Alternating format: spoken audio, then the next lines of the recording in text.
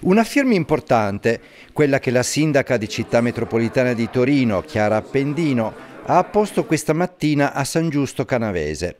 con la quale è avvenuta la consegna alla cooperativa sociale Progest, vincitrice del bando pubblico della villa sequestrata, al boss del narcotraffico Nicola Assisi.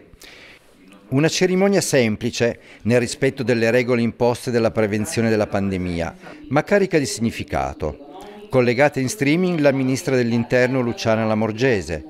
Presenti nella villa le istituzioni con il prefetto di Torino Claudio Palomba, il presidente della regione Piemonte Alberto Cirio, la sindaca metropolitana Chiara Appendino,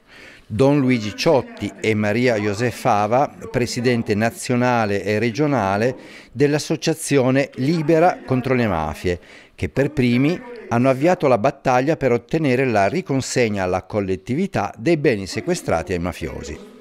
Progest, nella villa di San Giusto Canavese, realizzerà a breve interventi destinati ai disabili, progetta iniziative di co-housing sociale, pensa ad un orto didattico aperto anche alla cittadinanza. Intanto da Don Luigi Ciotti è arrivato un appello forte allo Stato perché la normativa sulla riconsegna dei beni sequestrati ottenga un'attenzione speciale nei piani del Recovery Fund ed una accelerazione. Solo mille i comuni in Italia attivi in questo settore e San Giusto Canavese si è distinto per impegno con questo progetto.